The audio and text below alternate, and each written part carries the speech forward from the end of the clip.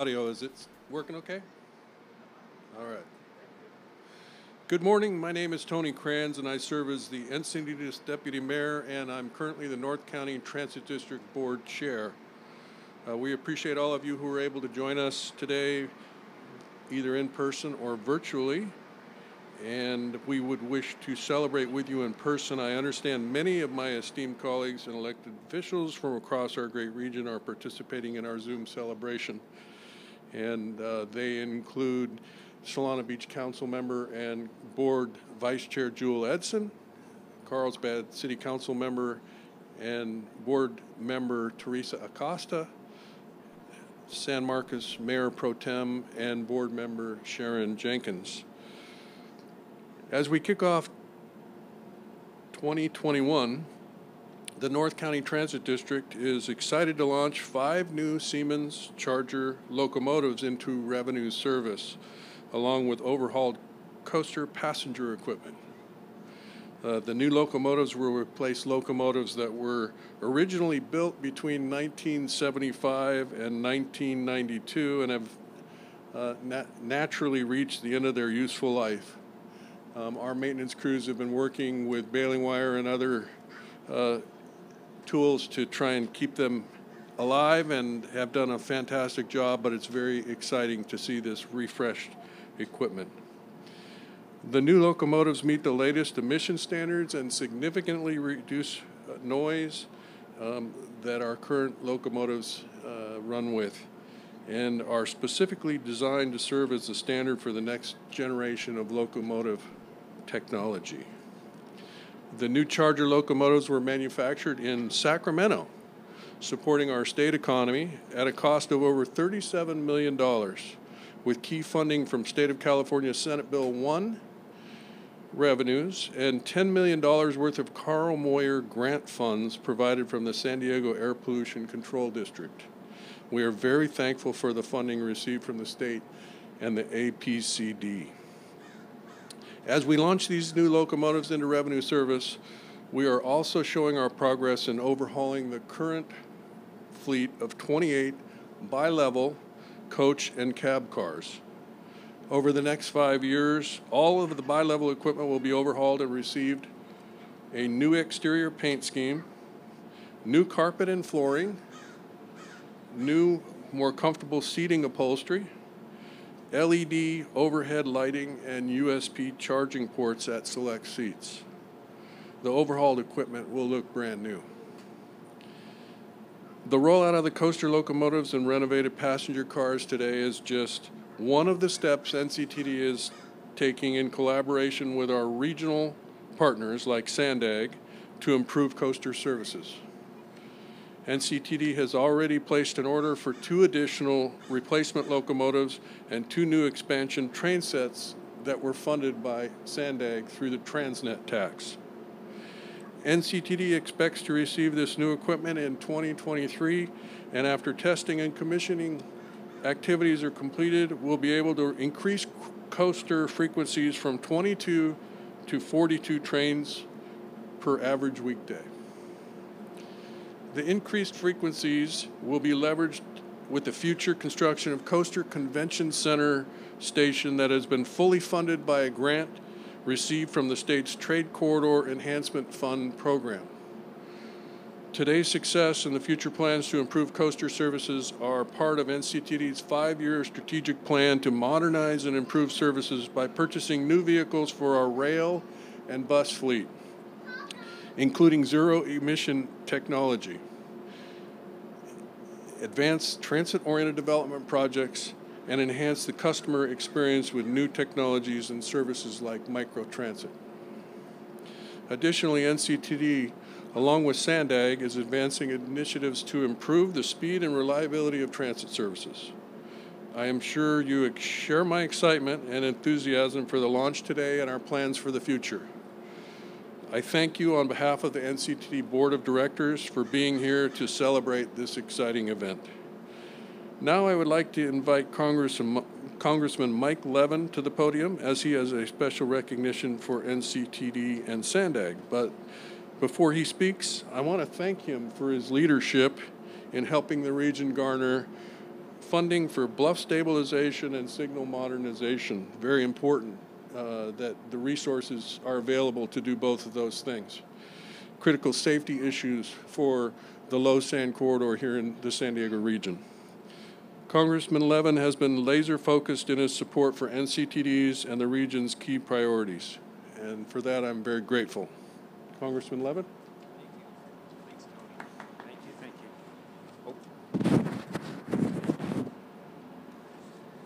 Well, good morning. Thank you, uh, Deputy Mayor Kranz, for that warm introduction. It's great to see you. It's great to see Mayor Blakespear. I'm just uh, so excited to be with you this morning. It's a major achievement uh, for NCTD, for Sandag, and all involved. You know, coaster service in San Diego has been proudly moving residents, tourists, and commuters for more than 25 years. The coaster has offered nearly 30 million rides since the start of service in 1995 and coaster riders enjoy the luxury of having a commuter railway that travels through some of the most scenic coastline in the entire country. I think we've got the most beautiful congressional district in the entire country. I'm proud of the collaboration that has made today possible, as well as the progress in protecting the rail corridor, especially in stabilizing the coastal bluffs under the tracks in Del Mar. And there's a lot more to do. The investments we're making are going to add so much value to our region. They're going to provide reliable, environmentally friendly, and comfortable travel options for our residents and our visitors. Very briefly, I want to mention that we worked very hard as part of the CARES Act last year. Throughout COVID 19, of course, so much revenue lost throughout our communities. And in the CARES Act, NCTD received over $95 million. I'm fighting very hard for something now called the American Rescue Plan. You've probably heard about it. The draft proposal is offered by the Biden administration includes $20 billion for our transportation agencies and a lot of other uh, resources that will be needed in our community in the months ahead. Uh, in addition, I think it's a time to go big and bold on infrastructure. And so I'm going to be working with NCTD and SANDAG and all of our relevant transit agencies and everyone interested in building back better with the jobs of the future, whether it be in transportation or clean energy. We're going to do all we can to work with the Biden administration and work with our local stakeholders to ensure that we fight for the resources to come to our region and to uh, NCTD and other great agencies. So, with that, I'd like to present NCTD and SANDAG with a proclamation. I'm not going to read the whole thing because it's a long one recognizing the importance of this state to our district and also the greater San Diego region. So thank you to NCTD. Thank you to SANDAG for your commitment to transit excellence. And I'll present this proclamation to both Tony and the fantastic mayor of the city of Encinitas, who does such a great job as well, leading on transportation issues throughout our region, Catherine Blakespear.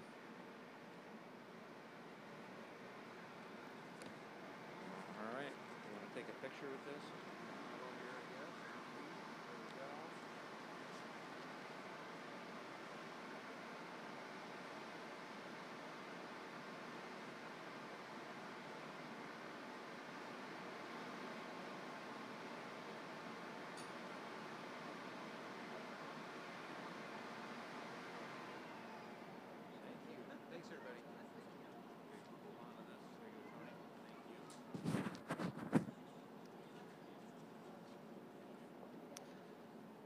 Well, good morning. And thank you to our great Congress member, Congressman Levin, and to our NCTD chair, Councilmember Kranz from Encinitas. This is a really exciting day. My name is Catherine Blakespear, and as well as being the mayor in the city of Encinitas, it's also my great honor and privilege to be the chair of SANDAG, the San Diego Association of Governments. And I'm proud to stand here today with representatives of the North County Transit District to celebrate the start of service of the new state-of-the-art Siemens locomotives and overhauled coaster cars.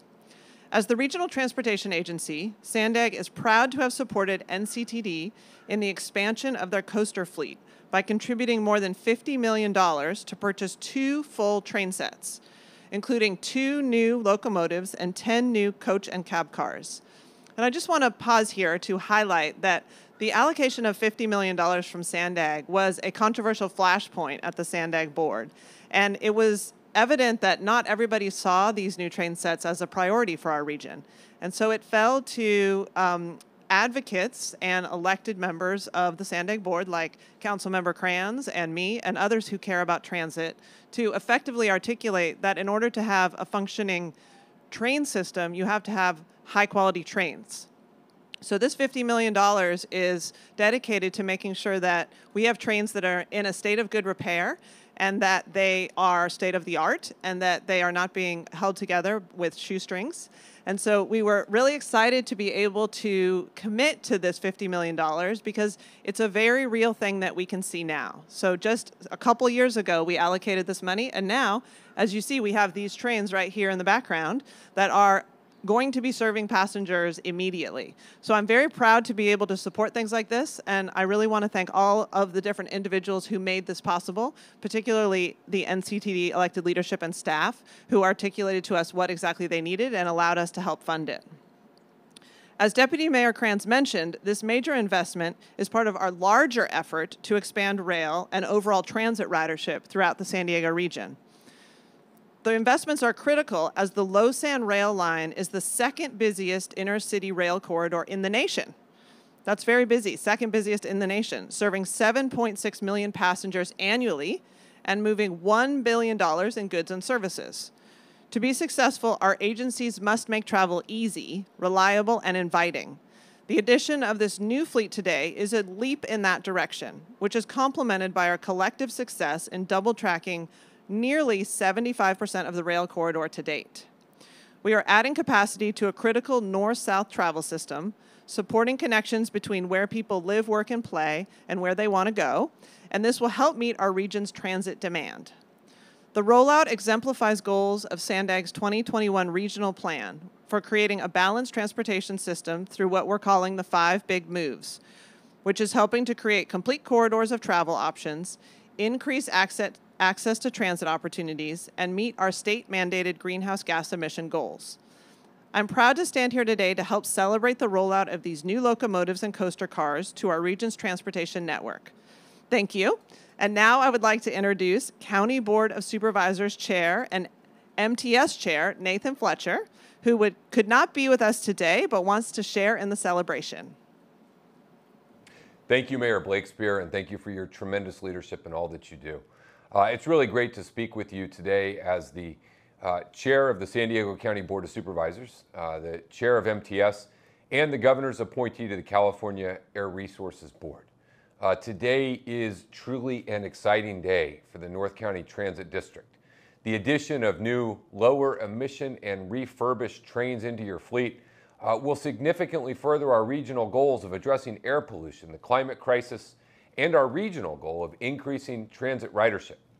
Two years ago, when I was elected chair of MTS, I said that great cities, great regions have great transportation and transit systems, and I believe that now more than ever. I appreciate the collaboration and partnership with NCTD.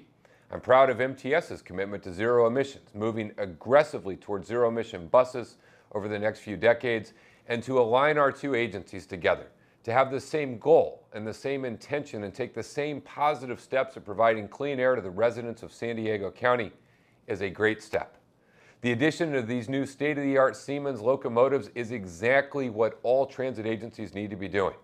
It's so important that we come together to transform our transit system to lower emissions and move in a new direction. As a CAR board member, I know acutely our challenges that our communities face when it comes to clean air. Exposure to diesel emissions contribute to asthma, cardiovascular disease, and even makes individuals more susceptible to the negative impacts of the COVID-19 pandemic. The environmental justice of air pollutions are vitally important, and we must all quickly move as fast as we can to provide clean air to our communities. We have to and we will be regional leaders. And so my congratulations to NCTD on taking this important step uh, for your commitment of what you're doing uh, and, and where you are headed as a part of a, a broader regional effort. And I am proud to partner with you and work to provide more convenient service, more comfortable service, service that provides cleaner air uh, to each and every person throughout our region. Thank you very, very much for letting me join you, uh, and I wish you all the best. Thank you. Fantastic. Thank you, Mike and Catherine and Nathan, who joined us virtually. And before we share a surprise with the group and officially cut the ribbon on these new coaster vehicles, I want to extend a sincere thank you to all the individuals and uh, individuals who contributed to this effort.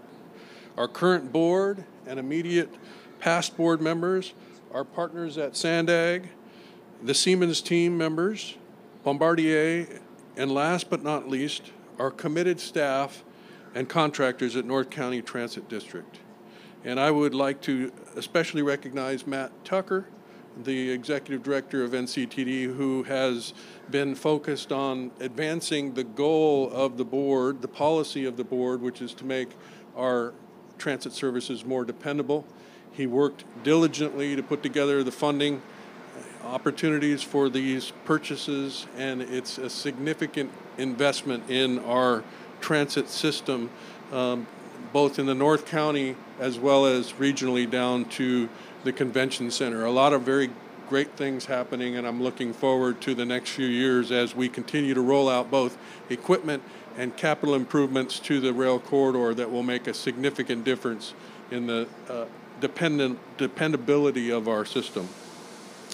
And the, the goal, of course, of all of these improvements is to welcome the public back to transit, which, of course, with COVID has been quite the challenge.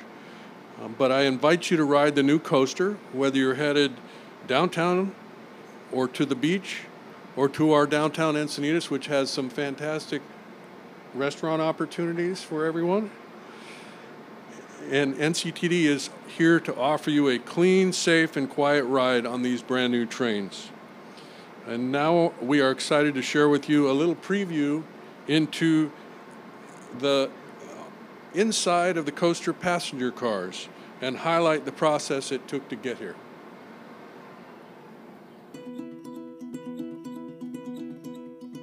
The coaster has been in service for 25 years. It runs between Oceanside and San Diego along the coast. The overhaul program is important to our future vision for expanded operations. The coaches are in their midlife phase right now requiring this overhaul. An overhaul is basically we bring in a old outdated car that we gut it to a complete shell and basically we put a lot of upgraded parts on it to make it better and make it look new. The frames and the core of the coach cars were all in good enough shape to rebuild them. The locomotives were not, so we ended up with brand new locomotives. They're the Siemens Chargers, and they are Tier 4, much quieter and much less polluting. So the overhaul process is a highly developed and coordinated plan. We pull one coach every three months. That will complete all 28 cars by the end of 2026. Car rolls in, first thing we do is we start ripping all the seats out, upholstery, seat bases, carpet, all the holes in there, partitions, and anything that's on the inside is out. We'll start stripping the paint. We'll put this bio-friendly chemical on. We leave it overnight. The paint will actually start to flake off by itself. The next morning, come in with a power washer and help the process further along. The painting process will begin with the color teal at the very top and then the gray after that, we install the stencils and then finish off with the blue. So after painting is complete, we lift it up in the air and we install everything new, including the truck, suspension system, brakes, and airlines. The teardown's already been done, it's already been painted, windows are back in, so now we can actually start putting all the interior back together. The interior upgrades will involve new carpeting, new seats, new vinyl covering, as well as new USB and power ports for the, uh, allowing the customers to charge their phones on their uh, commute into the city. I personally rode in one of the test trains that we've overhauled and it feels like a Cadillac compared to the old ones. It's all new airbags, all new shocks. The ride quality is 100 times better. Yeah, we're proud of the entire process. This is, uh, this is an exciting time as we uh, commit to our customers and our passengers to increase service, to increase reliability. It's exciting to see uh, the change, the investment, and the commitment into the fleet and the, to the network. The importance of having these overhauls is that it attracts new riders. We need to get people out of their cars and and public transit is a great way to do that. During COVID on the coaster service, no, we've lost a lot of our ridership. We've used this as our opportunity, so we're going to be ready when the passengers come back. We're going to be ready with new locomotives, we're going to be ready with new coaches, we're going to be invigorated, and we're going to be ready to move the public.